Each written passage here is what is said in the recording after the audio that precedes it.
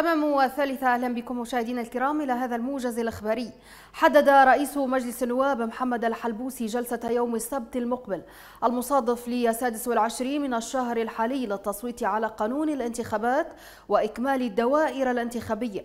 وقال الحلبوسي في تغريدة على تويتر أصبح لزاما إكمال الدوائر الانتخابية لإنجاز قانون عادل ومنصف لإجراء انتخابات مبكرة تلبي تطلعات الشعب وتعبر عن إرادته. مضيفا لذلك أدعو القوى السياسية جميعا أن تتحمل مسؤولياتها لإنجاز القانون وحضور جلسة سبت التي سيكون جدول أعمالها بفقرة واحدة مخصصة لإكمال الدوائر الانتخابية.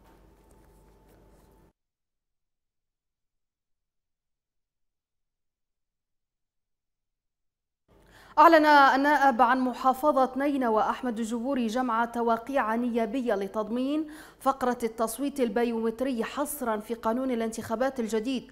وقال الجبوري في تغريدة على تويتر إنه تم البدء بجمع تواقيع برلمانية لتضمين قانون الانتخابات إجراء التصويت بالبطاقة البيومترية حصرا. وأظهرت وثائق نشرها الجبوري توقيع 45 عضوا في مجلس النواب لتضمين فقرة التصويت بالبطاقة البيومترية.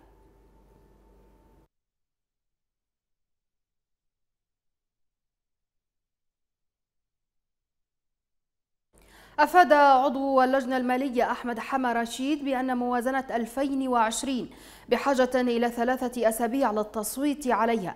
وقال رشيد أن الموازنة تحتاج إلى بضعة أيام لتحويلها إلى اللجنة المالية ومن ثمة قراءتها قراءة أولية وأنها تحتاج إلى ثلاثة أسابيع بالكامل لغرض تمريرها. مبينا أن الجهات المختصة في البرلمان لم تطلع إلى غاية الآن على التخصيصات الموجودة في تلك الموازنة.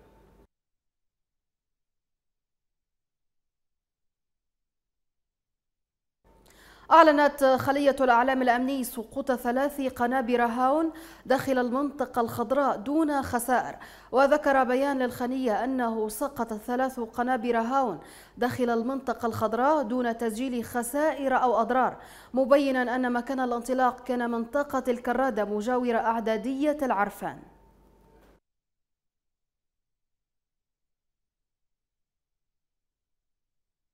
أكد رئيس إقليم كردستان العراق نيجرفان بارازاني خلال لقاء المبعوث الأمريكي الخاص لدى سوريا جيمس جيفري على ضرورة استمرار دعم التحالف الدولي المناهض لداعش بقيادة الولايات المتحدة الأمريكية للعراق والإقليم لضمان القضاء على التنظيم بشكل نهائي. وقال بيان صادر عن رئاسة الإقليم أنه تم خلال الاجتماع التباحث حول آخر مستجدات التصدي للنشاطات الإرهابية في العراق بدوره أكد جيفري على مواصلة أمريكا والتحالف الدولي لدعمهما للعراق وإقليم كردستان وتقديم المساعدة اللازمة للقوات العراقية والبشمركة وحلفائهم للتصدي للإرهاب والقضاء على تنظيم داعش بالكامل.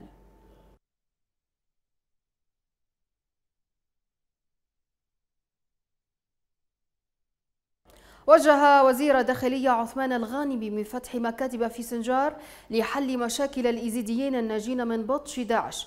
وقالت الداخلية في بيان أن الغانمي وجه خلال لقائه بمجموعة من الإيزيديات بفتح مكاتب في قضاء سنجار بينها موضوع إصدار بطاقة الأحوال المدنية للأطفال بعد تشكيل فريق للعمل المختص من مديرية الأحوال المدنية والجوازات والإقامة بالتنسيق مع القضاء. وأكد وزير الداخلية أن المكون الإيزادي يحتاج منا العطاء الكثير كونهم لم يتركوا وطنيتهم وحافظوا عليها وتمسكوا بها ولم يغادروا البلاد.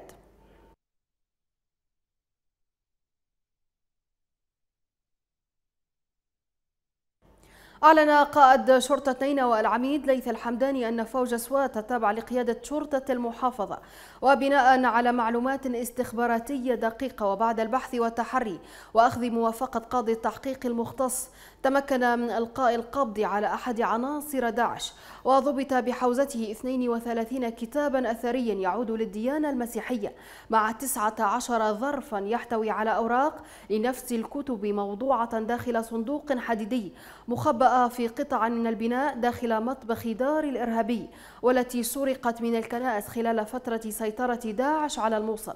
وأكد الحمداني أنه تم القبض عليه وضبط الكتب الأثرية في داره في منطقة باب جديد بأيمن الموصل.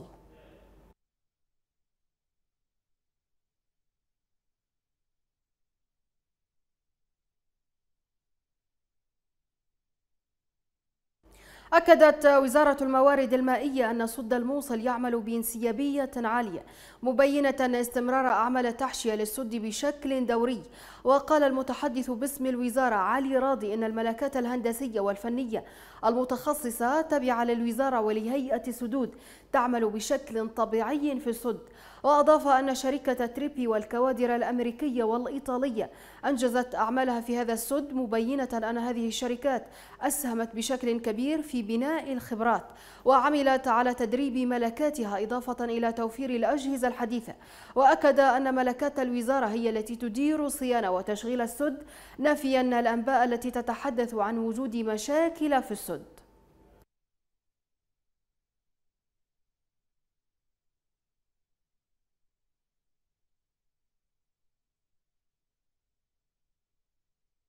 دوليا الآن قررت فلسطين التخلي عن حقها في رئاسة مجلس الجامعة العربية للدورة الحالية ردا على التطبيع العربي مع الكيان الصهيوني.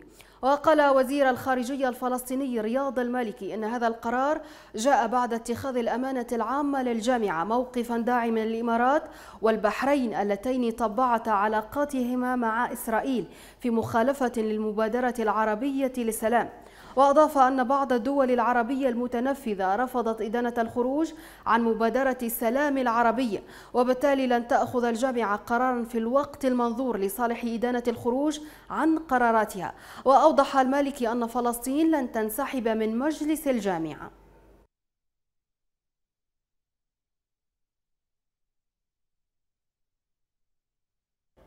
قال الأمير خالد بن سلمان نائب وزير الدفاع السعودي أن بلاده تسعى مع دعاة السلام في اليمن للوصول إلى سلام شامل ودائم وذلك بمناسبة حلول اليوم العالمي للسلام.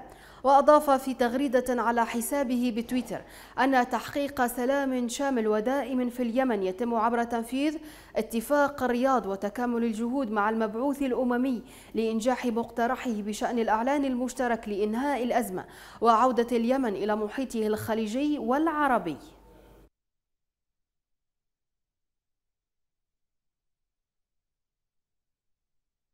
توفي ثمانية أشخاص شمالي السودان جراء حمى يعتقد أنها ناتجة عن مرض تسببت فيه السيول والفيضانات التي ضربت البلاد منذ أسابيع. وقالت وزارة الصحة تلقينا بلاغ بوجود 41 حالة بالولاية الشمالية بينها ثمان حالات وفاة. وأضافت أنه تم إرسال فريق للتحقق والتقصي عن الحالات ومعرفة المرض ومسبباته.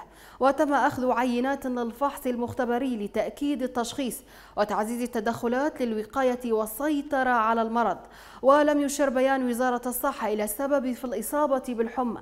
غير أن أطباء السودانيين توقعوا أنها ناتجة عن السيول والفيضانات التي غمرت أجزاء واسعة من البلاد الأسابيع الماضية.